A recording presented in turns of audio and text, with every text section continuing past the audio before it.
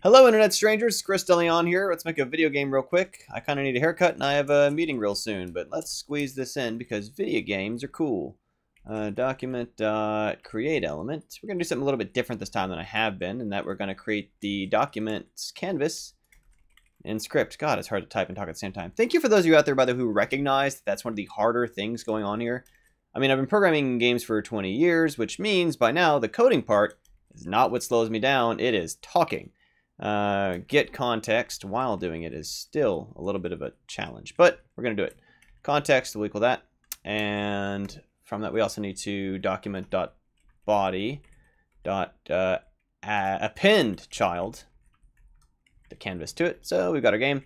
Let's do a set interval to get our action going. And people sometimes rightfully point out like, hey, this isn't the optimal way to do it. Maybe you should use, you know, wait for animation frame and like that. Fair point, but it's kind of not really the objective what we're all about today. We're just making some action happen. Just trying to show that on a standard computer, home computer in 2017, you don't need to download anything, you don't need to install anything, you don't need to write 10 bajillion lines of code, you don't need to use uh, Unity or Unreal to just make a game, to just get gameplay stood up and playable.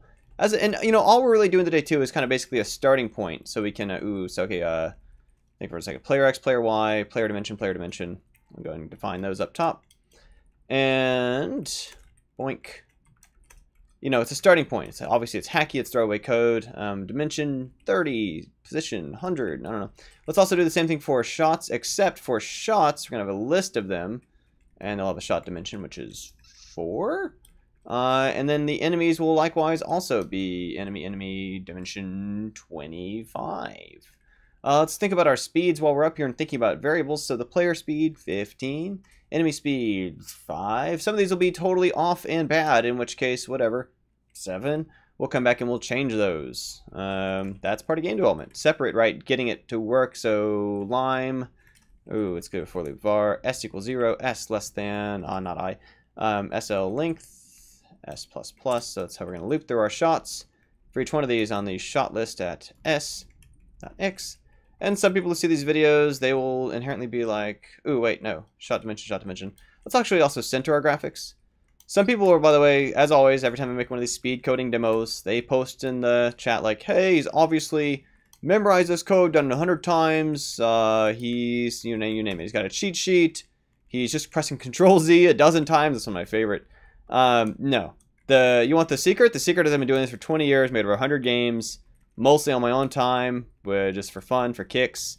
Specialize in small scale, quick stuff, which means I'm a little bit quick at it. Um, and it really is, and I want to emphasize that's not because of any sort of like innate talent or anything else. That really is just raw practice time. It's like when you see somebody on America's Got Talent and they're like spinning a table on their legs. Spawn, hold on for a second. So every two seconds, no, no, no, that is a problem. Every two seconds, we're going to spawn an enemy enemy list, we're going to push add as Unity C Sharp. This is JavaScript. Um, and they're going to the X position to the right side of the screen and Y position to math.randoms built-in function from 0 to 1 times canvas.height will be a random right side of the screen. Booyah. Um, oh, you know what else we're missing is an input. Uh, but yeah, it's like America's Got Talent where you have uh, event listener. That's not America's Got Talent at all. we're going to ignore key, going to ignore uh, holding keys today, by the way, which means we have some like built-in ugly OS functionality. You hold on the key, it's going to have inconsistent jittering, but we'll make do. Um, but yeah, it's like on those shows where there's like somebody who they've spent their entire adult life and teenage years and whatever just bouncing a table on their foot or whatever the kind of weird, uh, we're going to spacebar here, which by the way is 32 for decimal, OX20 for my hexadecimal friends. Uh, and every time we're going to append a shot to our list. And we're going to spawn that shot from the player, PX, YPY. But it's just raw practice time. And, and I really, and I want to emphasize that partly because when you see this sort of thing, I want you to know, like, if you put in practice, you can do these sort of things too. Um, px plus equals, do we have a p speed? We set a p speed, right? Yeah, it's in my head. So uh, this is going to be left and then clockwise, once again, for our arrow key inputs, which we could console log those out. You can look them up. Con key codes have been around forever. The, theoretically, these are actually obsoleted in browser. We're not supposed to use these anymore. Nobody I know actually still supports those things, or if we do, we do it redundantly. So that's a uh, Y down here too, going down. Yeah, left, up, right, down. Uh, we need these shots to uh, move. We have our shot speed as well, don't we? Uh, maybe we don't. Shot list, shot dimension. There it is. Enemy speed. Speed shot. There it is. Just changed the wrong one. That makes sense. Okay. So we're going to make the shots slide over at that rate. Uh, why type something more than once when you can copy and paste it? Uh, plus equals shot shot in terms of whenever you got long words, typos are one of your enemies, and that's part of why for these demos, unlike when I'm writing an actual program or doing a demonstration for instructional purposes, unlike this video, which is not instructional, it's just a speed hacking demonstration. So that's going to slide to the left. Uh, part of why I keep low-length variable names, even though it's ugly, hacky, bad coding, uh, let's have our shots collide with enemies, uh, is because it reduces the chance of typos, which would otherwise surely slow me down. Uh, let's have it go backwards to the list so we can cut things out of it while we do it. Um, and, you know, I will also acknowledge fully that, like, having multiple var e's in here is kind of ugly. Maybe shouldn't do that.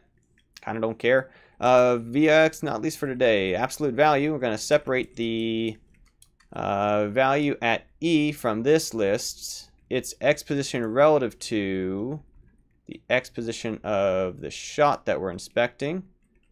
And we'll do the same thing for a delta y or difference y if you prefer that over the math words. y, y. And we'll do a little bit of square root action to achieve a total distance calculation, which is actually kind of even, uh, not dist, uh, square root.